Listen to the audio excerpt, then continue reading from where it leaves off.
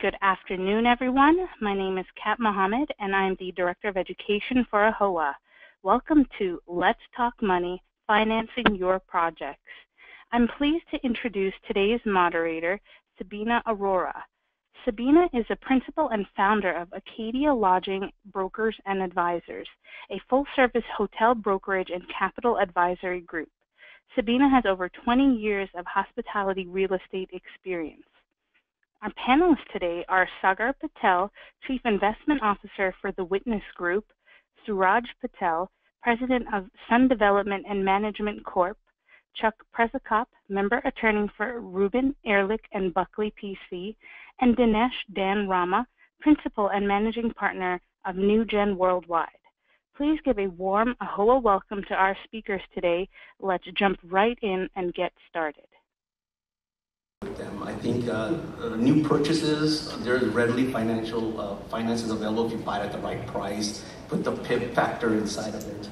Um, but the new construction is getting tight, which is good in a way. It controls the new inventory that's coming in, keeps the rookies out from making those mistakes that we saw in 2008. Um, so, you know, I, I see it as a positive.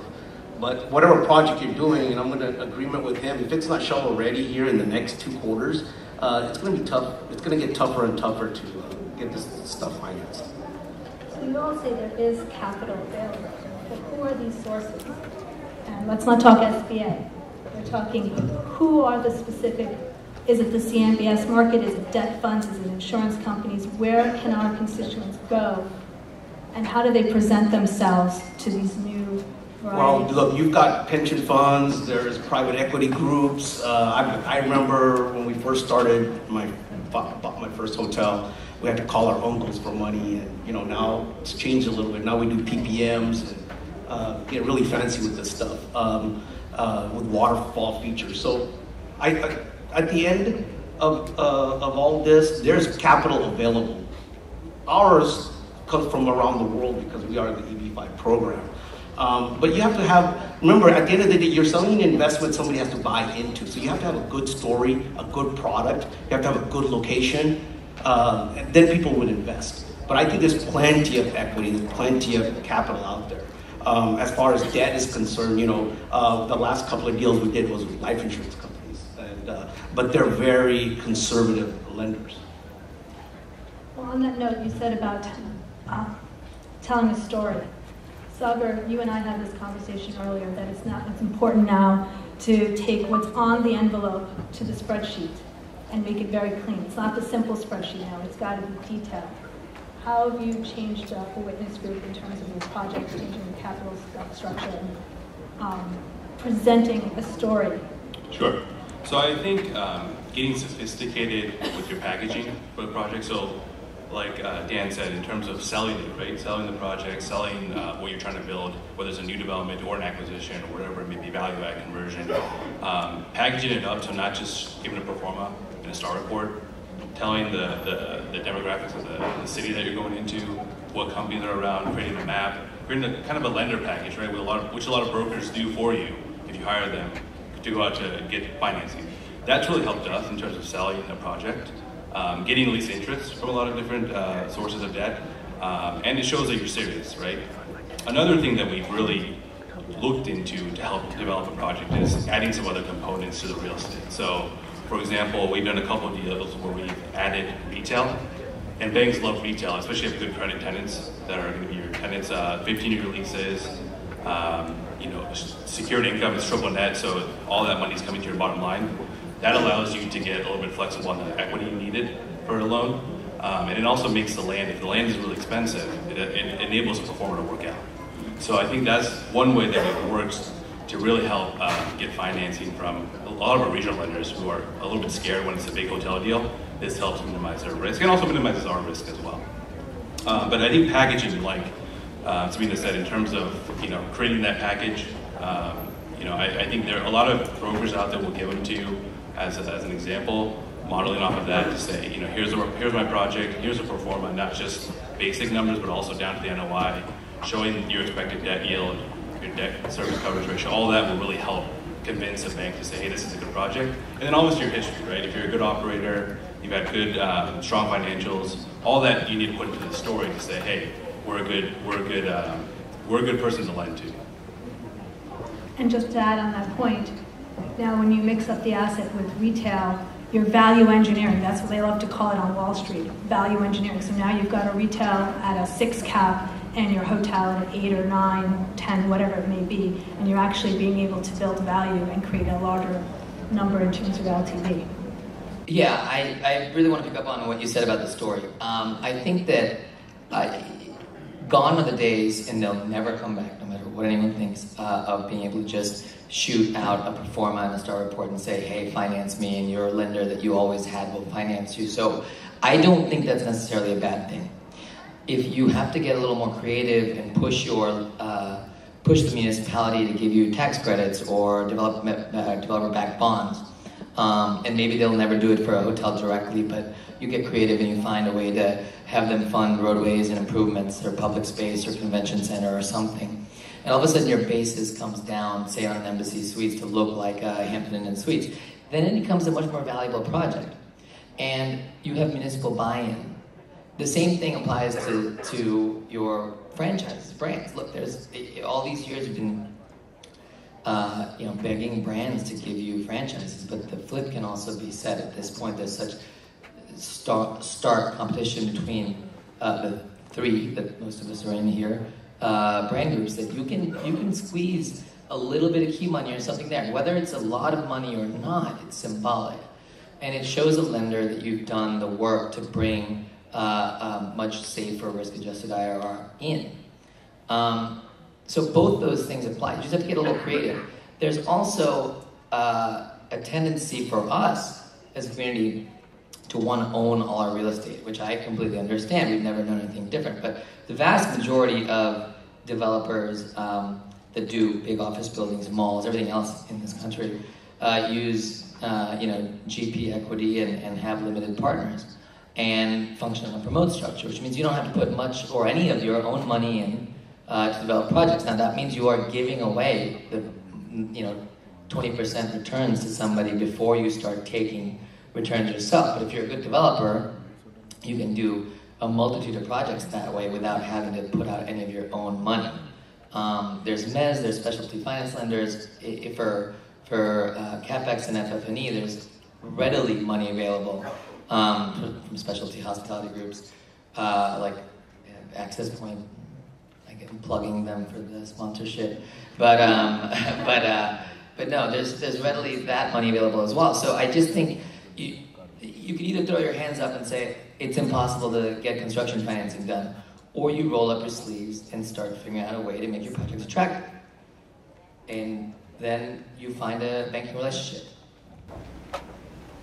Well, on that point, I noticed at Sun you guys actually use the major brands such as Hilton and um, Now is Marriott, but you're doing brands outside of the typical norm of Hilton. You're doing a canopy, a tra- chap- uh, tapestry. I think you've got a handful of Cambria, which is not even, I don't think they're recognized yet as a brand because they have to have 40. So has that been an advantage in terms of, you said it has, in terms of getting key money, but has that, how have you pitched these new brands to your lenders and how has that helped you? I, well, the good news is you're necessitated to use these new brands in markets that are probably already saturated with brands, and that's because the markets are already really good. So you're starting from somewhere where you can say, look, I got to build a tapestry here because everything else is already built. And that might be because, more than likely, because it's a really strong market. Um, most of your top 25 MSAs in, in downtown areas have all the brands. So now you're like, I have no choice but to build a tapestry. And at the same time, you're telling Hilton, well, I'll be one of the first people to do this, but obviously I need a ramp and some key money and whatever to help build your brand. So it's a it's a two sided coin here. Like you either have uh, you know a Hampton Inn somewhere, but look, they're probably already built in all the markets worth building Hampton Inn in. So think a little bit outside the box. With Choice, um, Choice's balance sheet is so strong, such an aggressive development team that that, that if you're willing to do a Cambria somewhere, uh, they'll work with you. And then you can turn around and go to your lender and say, look, here's my IRR on five, seven years out when I've got a ramp and no one else does. And here's my tax abatement and here's my developer back bond. And I can actually go and trade that for 80 cents on the dollar up front and use that as my equity into this deal. And so, again, if you want this to be simple, uh, you know, fill out your SBA loan package and go build a hotel. That's one thing, and that is a that is a long time ago. Uh, but if you are willing to roll up your sleeves a little bit, I think you can actually end up with much better deals. It sharpens your focus so that you don't end up in a 2008, 2009 type situation. We're a little bit different up here because, like, well, at least two of us, we came of age in uh, in the worst of times in this industry. So we're way more risk averse. That's why I say right now, if you have the opportunity to take some money off the table, to refinance, to sell, pref equity, whatever you can do right now to take these, sure, you might be the guy who misses one more year of, of, of um, uh, values going up. Uh, but no one's going to laugh at you if you're that guy. But if you miss it by a day on the other end, that sucks. I'm going to switch gears a little bit. So you've talked a lot about construction. but how about acquisition financing today? Considering um, the industry has had taken a hit, as you all said, between 08 and 10, and there's been such a bias, negative bias of our industry, considering the, the change in market segmentation, um, perception of certain geographic locations, aggressive PIPs requirements by all the brands. It's not just one. Um, lenders are getting picky about, you know, physical plant, stick versus brick versus, you know, uh, concrete. Um, how do you navigate past those issues?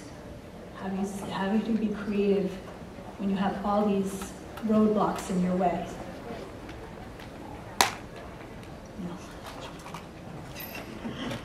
Was that a tough one for you guys? Coming from the lawyer, I don't know lawyer property, right? Uh, well, I guess my take on it is it's from a legal uh, standpoint. And um, I guess one thing first you have to be aware of is when, you, when you're buying the property, you got to figure out how you're structuring as far as your organization goes, who your members are. Um, are you bringing in a private uh, institutional type investor? Are you uh, well friends and family? Uh, but you have to think about how am I going to get out? Once I get in, run it for a few years. Uh, do I have the ability to get out? Uh, do I have to go in and assume a loan? Uh, do I have to go in and uh, obtain new uh, financing? so when you're looking at your structure, you want to make sure that you have the flexibility in both your operating agreement to remove partners, to take them out, uh, and incorporate that into your loan documents going forward. Uh, lenders typically, if you're a, local bank uh, uh who's given the, given the financing on your project, uh, they're going to be very restrictive. They're, they're going to want you to come to them for anything because uh, they have a, typically they'll have a relationship with you um, and they'll just tell you, look, you're going to transfer an interest out, come to me, talk to me about it, and, and we'll work it through. Whereas if you're in the CMBS market or if you're in a non-recourse uh, uh, loan bank may be holding its portfolio, you're probably going to have a longer term on that deal. Uh, so you're going to be locked in for a while. So I think you're going to, uh, typically in your CMBS products, you're going to have a uh, transfer provision that's going to permit minor transfers of 49% or less. Uh, but you may have more specific needs, whereas institutional type investor that has come in with you as maybe a preferred equity holder uh, he may want to get out in year five, and you may have more uh, longer time horizon. So you're going to have to pre-negotiate that up front uh, with your lender. And uh, uh, these type of issues, uh, when you present it to the lender in connection with your acquisition financing, you have the most leverage at that time. You haven't sunk a lot of equity and due diligence costs in the project at this time.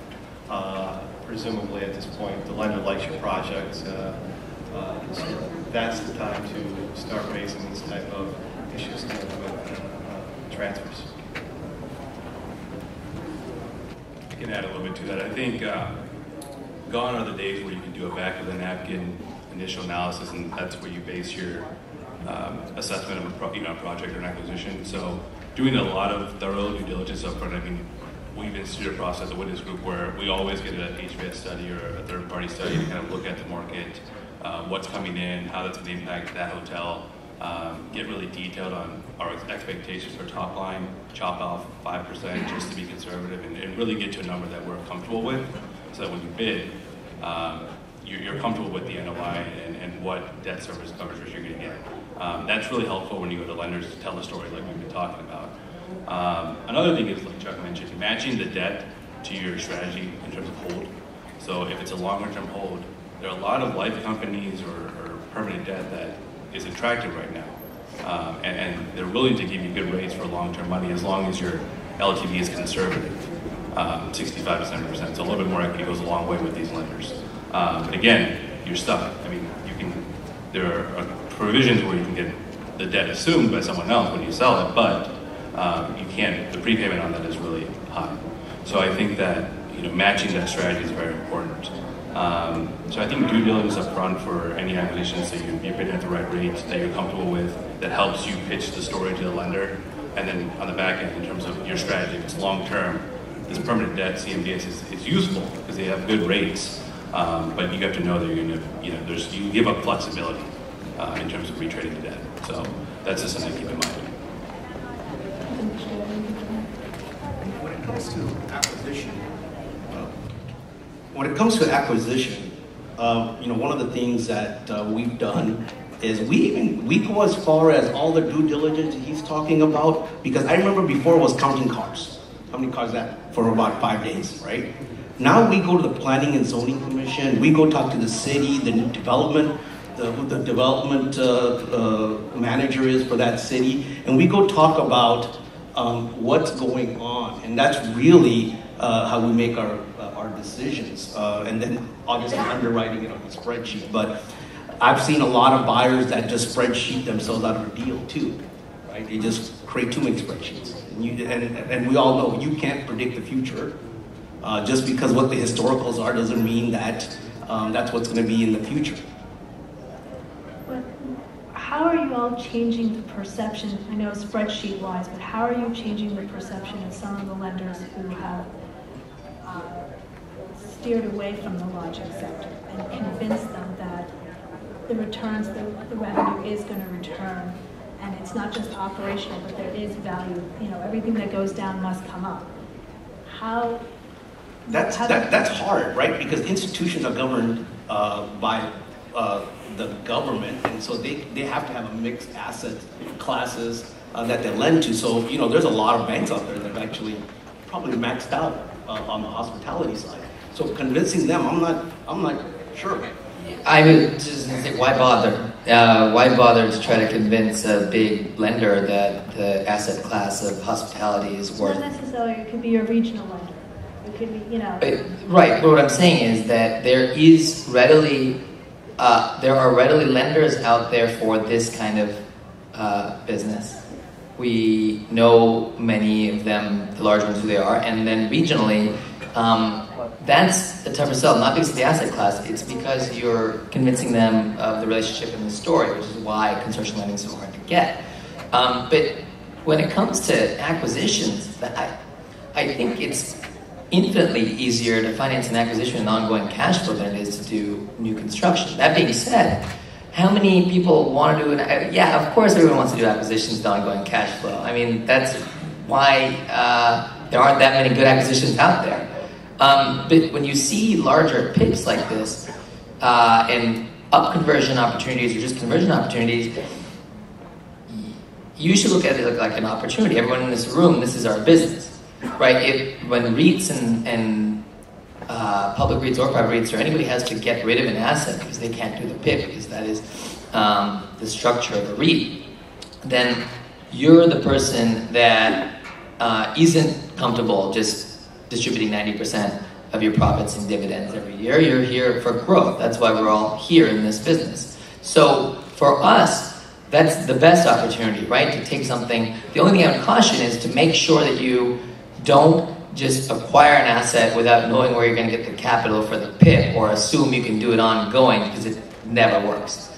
So capitalize the PIP expenditure when you buy the asset because you know that when you're doing a PIP, the disruption to your regular business is going to be massive no matter how many ways you try to cut it. Um, zero times has it ever worked that you can like ongoingly do a full PIP and still keep your loyal customers coming and use the cash flow and doing all that. That's when you get in trouble. So as long as you capitalize the improvements and in your acquisition and have a roadmap for it, then I don't think there are better ways to add value or to convince somebody. And then after you do a few of those, that's when you build that relationship with the lender that says, okay, well, let's, let's try a three-year mini perm on construction, something like that. Um, but I think that acquisitions, if you can find a good one, is a really a much easier sell.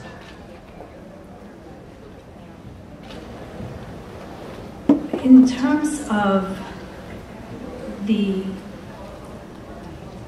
going back to the diversification of debt and changing your capital stack.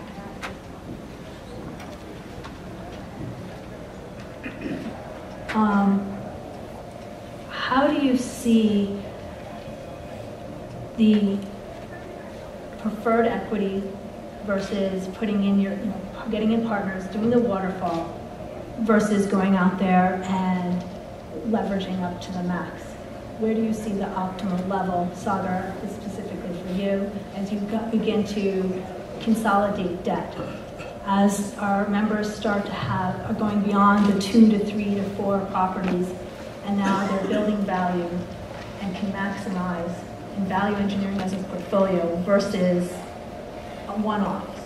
Right. What if, how, any recommendations? So I think there's uh, two pieces to your question. I think the equity piece like Suraj said, I mean, all of us want to own the real estate, right? We want to control the real estate as much as possible. But as you get into a growth period in your business where you're going into, you know, the next level deal, 15, 20 million dollars, whatever it may be, um, you may need to get some equity help to be able to get the deal done. Now, what you can do is do preferred equity, um, get those investors in, and then as you get an asset stabilized to a value where you're, you're comfortable with, you can refinance and then buy the investors out, as long as you have it written out in your term, whatever it may be.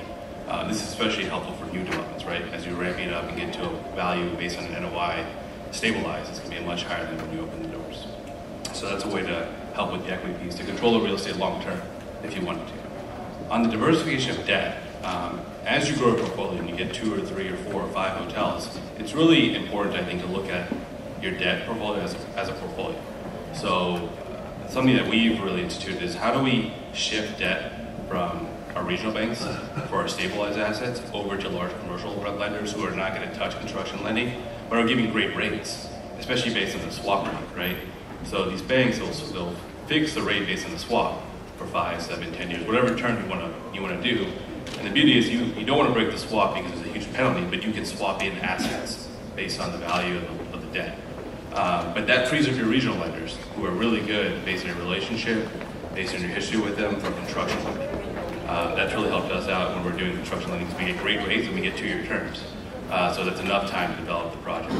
Uh, it, gives us comfort. So I think looking at debt that way in terms of how can you shift over things that you're on a prepayment for or you have a pretty good LTV on and you're not looking to cash out, cash on the sidelines that you're ready to invest in in new construction, how do you shift that over and then free up the regional to help you with the construction? Actually, Charles, can you tack on as you now cross collateralize your portfolio? What are the pitfalls? Because again, five years down the road, you want to sell and pull out one of the assets, and now you're cross collateralized in a pool. How do you avoid these pitfalls? What are common? What are uncommon? What can you negotiate up front? Sure. Uh, so really what you talk about is in your, your exit strategy with your your existing lenders. So uh, if you're in the CMBS market or you're, uh, a large regional lender uh, that may have it on its books, you're probably going to have some sort of uh, defeasance payment, prepayment, or yield maintenance prepayment penalty. Um, and if you're a local bank deal, it's probably very simple, you know, just a 54321 prepayment uh, fee. It's uh, uh, pretty straightforward. But uh, if you're dealing with yield maintenance or uh, defeasance costs, uh, defeasance uh, tends to be very difficult. Uh, it's very intensive at the end as far as there's a lot of hidden costs dealing with the due diligence costs the lender has to go through to actually purchase the securities, to hire the accountant to verify that there's a sufficient funds to meet the ongoing payments that you have to make on your loan. Uh, Just keep in mind that when you defease, the loan doesn't really go away. It's just that your borrower is getting a release of the property, the loan still stays in existence, and the lender is taking this collateral uh, to service the uh, the ongoing payments for the loan. So a couple of things on defeasance, you want to make sure when you negotiate up front uh, that you are only uh, paying defeasance collateral uh, through your open period. So when you have, uh, let's say you have a 10-year loan term, uh, you'll have an open period at the end that's usually three months that you can get without any uh, additional costs. Uh, You want to make sure that the uh, calculation is, occurs from when you prepay to that open period, that reduces your costs. Uh, There's always going to be a defeasance fee. Uh, Try to negotiate that the best you can. Not all all borrowers are the same. Uh, Some some lenders will have more flexibility depending on the borrower and the property type. Um, But, you know, usually that's like a half percent, they'll have a low end of maybe 10 grand, and high end of $20,000 uh, to pay the defeasance fee.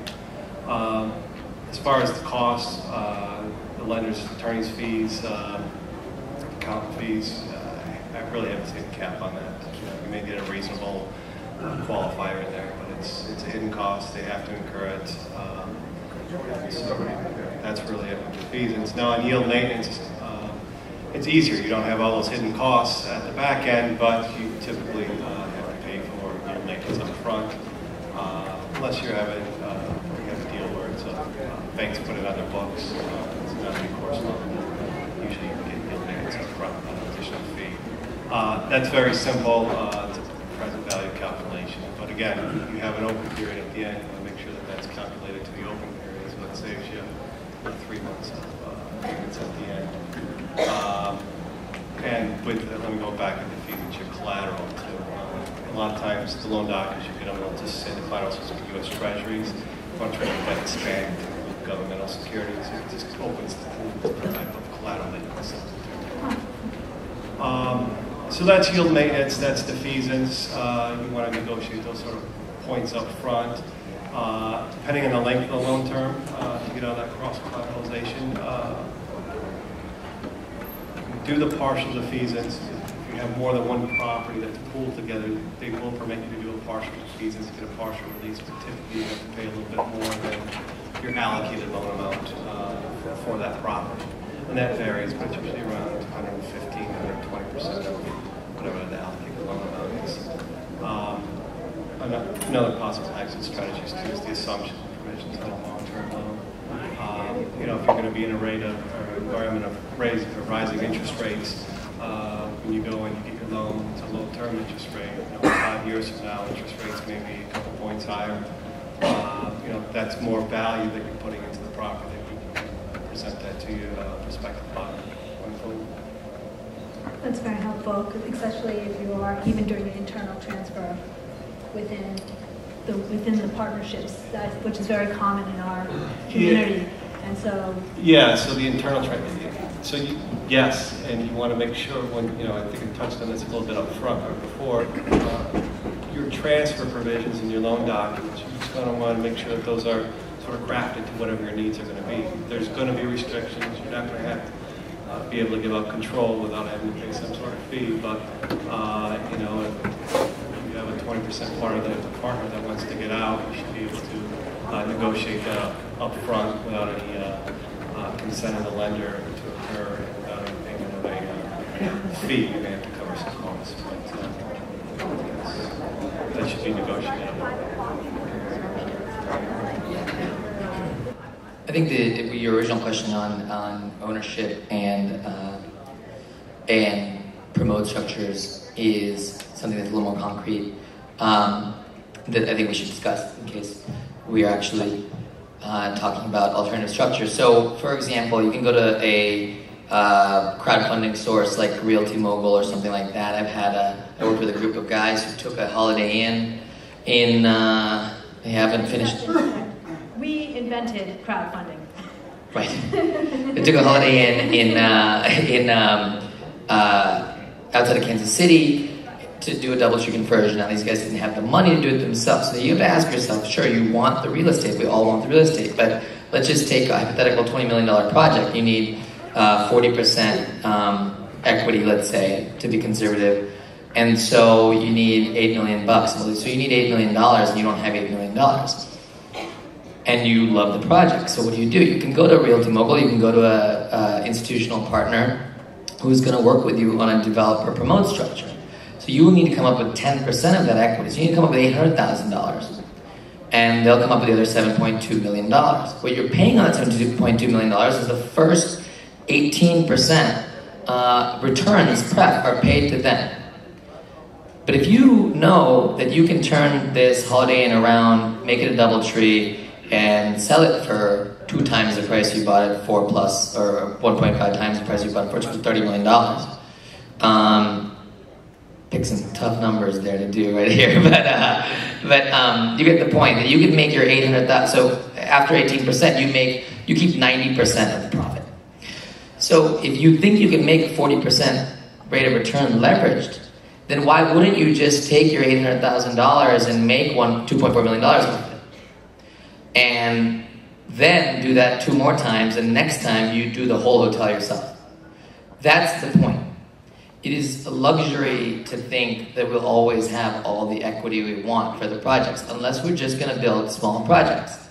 But the day you want to start going to these double-digit, larger uh, hotels and you know mixed-use projects, things like that, which I implore you to do, then you're going to have to start thinking about uh, being a little more creative with your equity stack, um, with MEZ, with selling pref equity, and stuff like that. But I think we've graduated to the point where this, where we can do that, um, and and not just be stuck, you know, doing um, smaller projects in volume. I agree with you on that. It's actually, it's not just about thinking about cash flow today, it's thinking about the residual that you're going to make. Yeah, it, it, it's thinking about the return on your cash. And that's all that matters. It doesn't really matter what the actual volume of that cash is at the end. I go, go would add. I'm, I'm all about, yeah, I'm, I'm all about yield uh, over money, right? So uh, uh, with EB5, uh, we actually only give the investors because there's two primary focus with EB5. Uh, number one is uh, getting them the green cards. Number two is getting their money back. Um, so that way, uh, we actually give uh, our investors a very low return. And as a regional center, we charge the developer the arbitrage. So it might be 7%, and we take our, our fees are the ones in the middle between the 1 and 1.5% that we give to the investors. We ran into this accidentally because we were trying to build a hotel. So we went out to one of our guys because we got to find some way to find some debt or some source of capital, and we ran into EB5, and now we've made it a big business out of it. It's very complicated, um, and uh, but uh, we've been we've been blessed with good partners and good infrastructure that we built over the last seven years. And again, this is projects not limited to the Hudson Yards or Right. Century Plaza. It's downtown Phoenix. Yes, downtown Phoenix, uh, we're uh, should be opening up soon, uh, hopefully this week. Missed the whole NCAA tournament. Um, uh, our Marriott Courtyard Residence Inn. Um, but our most exciting project, actually, we're building a museum for the law enforcement on a $130 million uh, museum. We're a $25 million capital stack. And we raised all this money, 90% of it came from China. That's kind of weird, right? Um, the Chinese funding our law enforcement. Yeah, I mean, to, just to say that th- this isn't an option available to everybody, but the past 30 years uh, or so of this community building a reputation of being really, really great at building, acquiring, operating, owning, and making profit from hotels is why you're now at the point where you get to actually live the American dream, which is to spend other people's money to do the things you want to do because you get to trade on that reputation. Just going back on your EB5 as an alternative source, um, things have changed because we have a new regime. New regime, that's good. Political system, um, SEC, you know, regulations are changing, immigration uh, regulation is changing as well. Just any thoughts on Well, on April 28th, uh, it's part of the, we were, EB5 was a, supposed to sunset last year. And it, it just got, I call it kicking the bucket uh, with the, the continued resolution. But it's up on April 28th. Uh, we see EB5 changing very significant. I think the minimum raise, um, right now it's $500,000 in TEA markets. Um, it's probably going to go up between 850,000 to 1.3 million dollars. Um, so it'll, be, it'll become a little bit more challenging, but it's easier. The guys that are investing in my in the EB5 program, uh, they're leaving their country because for a reason. And they, they, it doesn't matter if it's 1.3 million dollars or 500,000, they're still going to invest because, you know, to them this is the security in real estate and their security in the United States. Just to add on to the um, new political environment that we're in, how do you all see the evolution of Dodd-Frank? How is that going to open up lending to our community if there is a change in uh, relaxation in regulation? And predictions, how many more hikes do you see before the end of the year in terms of the Fed? I'm gonna, I'm gonna say I'm at least two for this year. At least two. Um, probably, you know, right around 0.25 percent. Um, but the- definitely a minimum two, and I, it, it's all gonna depend on how the economy progresses here in the next uh, two years. and What is our political climate? Yeah, I'd take the over on two. Um, and that doesn't mean that it's going to have a massive effect downstream. Uh, if they're two quarter point rates, it's, it's not going to have, and you're still seeing a growing economy. So whatever your NOI is rising is going to get eaten up by that slightly higher interest cost, perhaps. Uh, with Dodd Frank, I don't think that uh, these guys are going to get that much done. I don't think that there is much to be done. Um, that's going I think it's been a red herring or a scapegoat that regional banks have been hampered by Dodd Frank, and that's why you haven't been able to get lending. I actually think it's simply because they got burned uh, really bad by this industry and all real estate uh, from 2008 to 2011, and this is just a good scapegoat. Um, so, what uh, loosening of lending requirements will there be that's going to make a bank all of a sudden say, "Oh yeah, let me take a risk on this $30 million hotel project that's five-story wood construction"? You know what I mean? Like it's not going to be some rapid shift in being like, "Oh yeah, thank God, there's not one more box to check."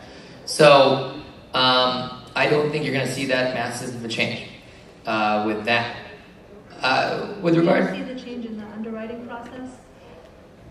again, In I, terms of liquidity, your balance sheet? I, so how many times, Bina, do you think that a bank tells you that it's because of the government that um, we don't believe you have enough liquidity or else we'd lend to you, versus the bank itself thinking that you It's more don't. that the regional bank can't take it out to the secondary market to sell, so they can't Yeah. take it on their balance sheet and then sell. So, I mean, I, I, I think that um, to the extent that changes will be made in Dodd Frank, and there will, uh, and there'll be administratively changes made, whether or not there is some sort of uh, light repeal, um, I, I still don't think that that's going to come downstream in a meaningful way uh, in the short or medium term at all. Especially as we just said, we also now they're going to hit a cyclical problem. Um, if you're talking about new construction uh, and regional financing, you're going to hit the problem of everyone knows that uh, the next couple of years will have a slowdown uh, a bit as well. So, um, you know, I just keep my eyes and ears open. I think the other thing that you can also remember is not underestimate downside risk. So that things can get better, but then things can get really bad fast as well.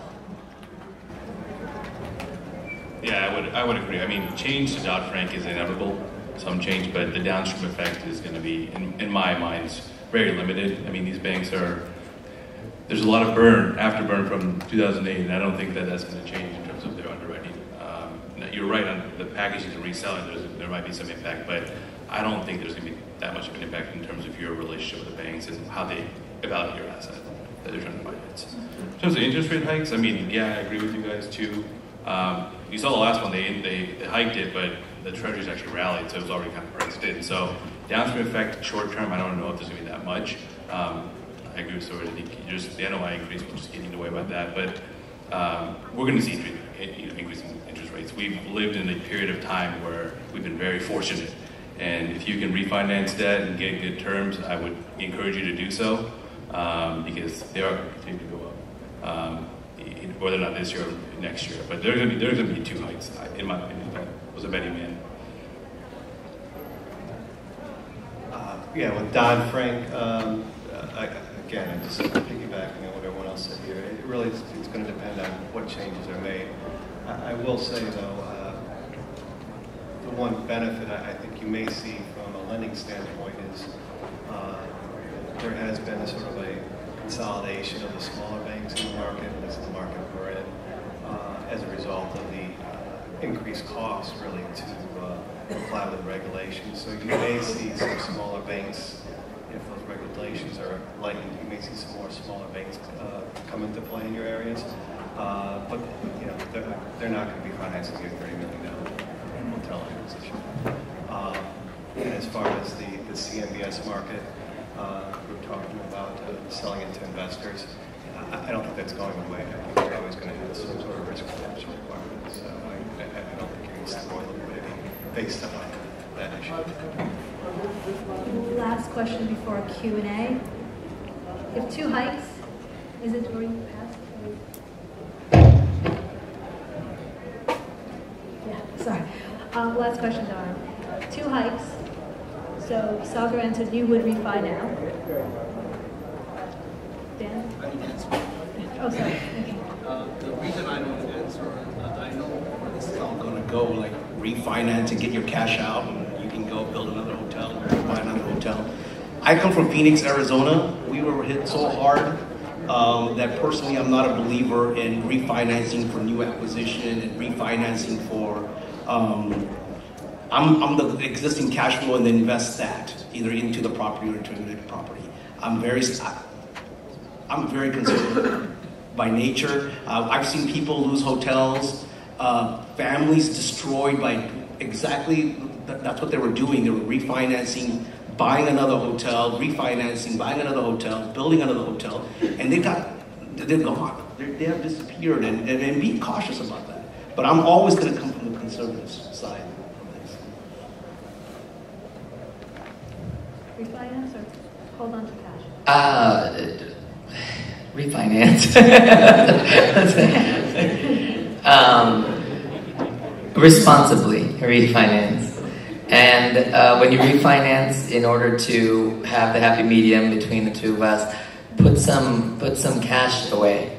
Uh, don't just refinance and take it all and go and acquire a bunch of assets. Just have a rainy day fund, just like you would anywhere else. That's one lesson you should learn. That's the same thing that Dodd Frank requires this mark to market is, and and so do it. Um, same right now. If, if you have offers on, on assets that are coming up on PIP and everything, and you know that's coming, and someone's willing to buy it, sell it and take the cash. Um, and and wait for that downturn. Wait for some new acquisitions. You know, otherwise you're just operating hotels and you're not a REIT. Um, and and you know, so I think that there's a lot of opportunity right now to cycle cash. When you make money in real estate, either by hitting the right timing, by hitting the right financing, or by adding value to the physical plant of an asset. Um, this is a timing game now, and you will have a bunch of opportunities to add values to assets in the next two years, um, and then the financing game again. Yeah, I do want to add, refinance responsibly is key. Um, don't lever up to 80% um, and, and take that risk, especially with the cyclical nature of our business. Um, but hold, I mean, if you can refinance responsibly, hold on to cash, there will be buying opportunity in the next couple years. Um, I mean, with interest rates going up, valuations are going to come down, uh, the market will soften. I mean, there will be opportunity. So I, think of it long term, right? I- I think that that's kind of important here. So that's my comment on that. Thank you. Questions? Yeah, so my name is Rahul Patel. I provide financing as well. The question that you asked is good about uh, where interest rates are going to go over the next few weeks or a few months. But the peak for prime rate was eight and a quarter. So if you're thinking about the next two hike rates, what you should be thinking about is where is that peak going to be for prime rate? A lot of people here might be in seven A financing. You don't want to be there whenever you get to eight and a quarter prime or maybe even higher, who knows? Um, so, but I agree with them. Don't lever up, just refinance what you have right now. Um, but that eight and a quarter, I mean, that's where That's where it is today, or that's where it's uh, potentially headed. Didn't you use PACE financing for your exercise? For your capital stack, PACE financing, probably it's Is that a tax, is that an energy tax abatement? Since, yeah. Yeah. Yeah. I mean, uh, do you, Yeah, it's a long-term low interest rate. uh, Great thing for, um, energy efficiency, water and. Yeah. Energy, But a lot of, uh, districts, um, it can be a large capital stack that usually, uh, uh, Great way for developers to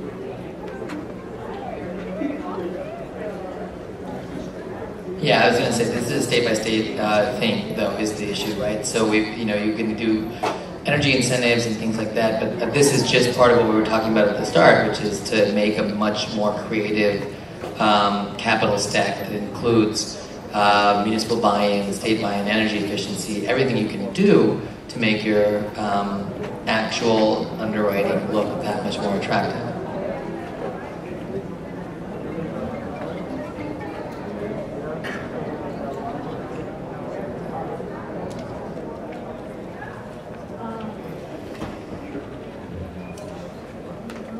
You know, I'd like to say something.